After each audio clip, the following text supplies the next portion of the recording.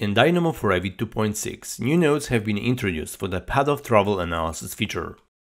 In Revit, the path of travel element allows you to analyze travel distances and times between two selected points in your model.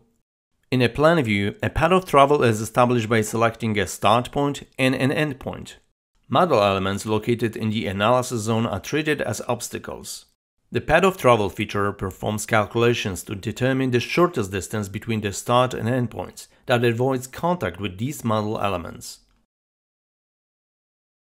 In Revit 2021.1, computational designers will find new dynamo nodes for waypoints, as well as a new nodes that enable fine-tuning of distance calculations, giving them more options when authoring dynamo scripts for route analysis.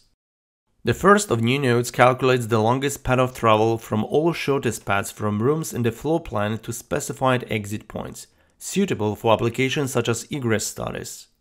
Four additional nodes help Dynamo users automatically add, move, or remove waypoints from paths of travel at the specified index. All of these nodes help designers optimize their Dynamo scripts to conduct path of travel analysis in Revit.